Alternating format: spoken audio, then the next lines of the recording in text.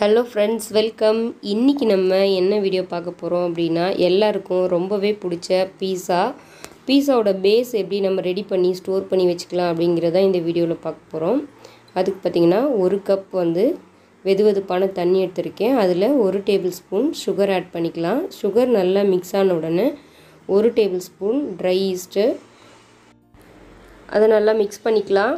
நல்லா தண்ணியில் கரையிற வரைக்கும் மிக்ஸ் பண்ணிவிட்டு பத்து நிமிஷம் அதை ஆக்டிவேட் ஆகிற வரைக்கும் அப்படியே வச்சிடலாம். பத்து நிமிஷம் கழித்து பாருங்கள் இது நல்லா இந்த மாதிரி நுரைச்சி பொங்கி வந்திருக்கும். ஸோ ஈஸ்ட் வந்து ஆக்டிவேட் ஆகிடுச்சு இப்போ நம்ம மாவு ரெடி பண்ணிடலாம். ரெண்டு கப் மைதா மாவு எடுத்திருக்கேன். ரெண்டு கப் மைதா மாவுக்கு அரை டேபிள் ஸ்பூன் சால்ட் ஆட் பண்ணிக்கலாம். ஆயில் வந்து ஒரு டேபிள் ஸ்பூன் ஆட் பண்ணிக்கலாம். நான் கோகனட் ஆயில் ஆட் பண்ணுறேன் ஆலிவ் ஆயில் ஆட் பண்ணாலும் இன்னும் நல்லாயிருக்கும் ஸோ இதை நல்லா ஒரு டைம் மிக்ஸ் பண்ணி விட்டுருங்க. மிக்ஸ் பண்ணி விட்டுட்டு நம்ம ஆக்டிவேட் பண்ணி வச்சுருக்கோம் இல்லையா? ஈஸ்ட்டு அது சேர்த்துக்கலாம். ஒரு கப் வெது வெதுப்பான தண்ணியில் நம்ம சேர்த்துருந்தோம். அது வந்து ஆக்டிவேட் ஆகிருக்கும் டென் மினிட்ஸில் ஒரு கப் வாட்டர் வந்து ரெண்டு கப் நம்ம மாவுக்கு கரெக்டாக இருக்கும். இப்போ ஈஸ்ட்டை வந்து மிக்ஸ் பண்ணிடலாம். கொஞ்சம் கொஞ்சமாக ஊற்றிட்டு இந்த மாதிரி மிக்ஸ் பண்ணிக்கோங்க. நல்லா மாவு வந்து பெசரிக்கோங்க. அடியில் ஏதாவது ஈஸ்ட்டு தங்கியிருக்க மாதிரி இருந்ததுன்னா இன்னொரு வாட்டி மிக்ஸ் பண்ணிவிட்டு சேர்த்துக்கோங்க. நல்லா இந்த மாதிரி மாவு பிசைஞ்சதுக்கப்புறமா ஒரு பத்துலேருந்து பதினஞ்சு நிமிஷம் நல்லா பிசைஞ்சிட்டு மாவு வந்து இந்த மாதிரி டூ ஹவர்ஸ் அப்படியே வச்சுருங்க. ஃபர்மெண்ட் ஆகட்டும்.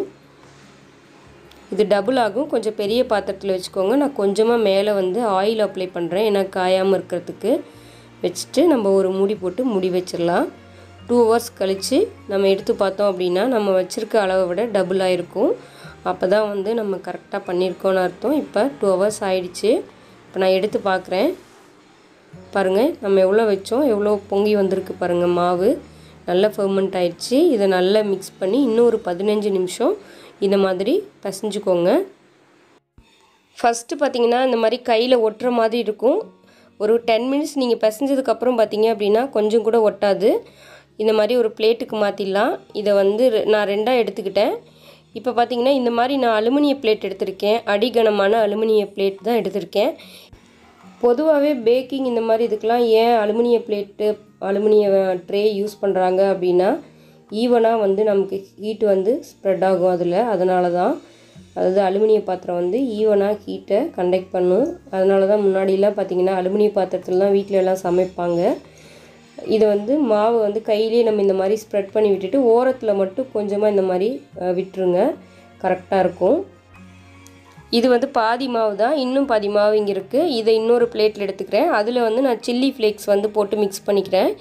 உங்களுக்கு வந்து காரம் பிடிக்கும் அப்படின்னா நீங்கள் சில்லி ஃப்ளேக்ஸ் போட்டுக்கோங்க.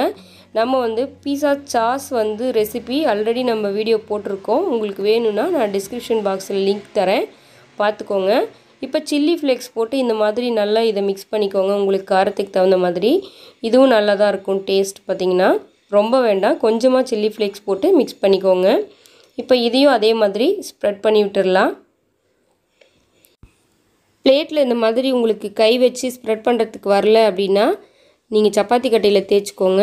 தேய்ச்சிட்டு ஓரத்தில் மட்டும் இந்த மாதிரி வெட் விட்டுருங்க. கரெக்டாக வந்துடும்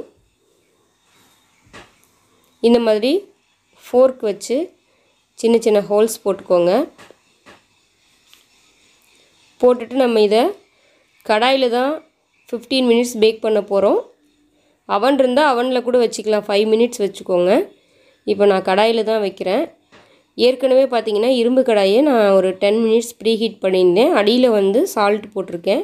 அது ஏற்கனவே யூஸ் பண்ண சால்ட்டுங்கனால கலராக இருக்குது நான் அதிலே வந்து வேர்க்கடலெல்லாம் வறுத்ததுனால அந்த கடலையோட தூசியெல்லாம் இருக்குது ஸோ இப்போ வந்து மூடி வச்சுக்கலாம்.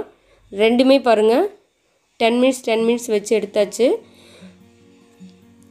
ஒரு ஃபிஃப்டி பர்சன்ட் வந்து நமக்கு இது பேக் ஆகிருக்கும் இதை நீங்கள் என்ன பண்ணலாம் அப்படின்னா ஃப்ரிட்ஜில் ஸ்டோர் பண்ணி வச்சுக்கலாம்.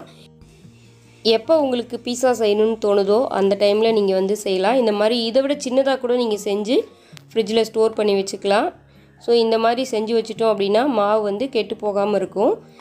ரெண்டுமே ரெடி ஆயிடுச்சு ரெண்டு டைப்புமே இந்த வீடியோ உங்களுக்கு பிடிச்சிருக்குன்னு நினைக்கிறேன் ஃப்ரெண்ட்ஸ் தேங்க்ஸ் ஃபார் வாட்சிங் அடுத்த வீடியோவில் பார்க்கலாம்.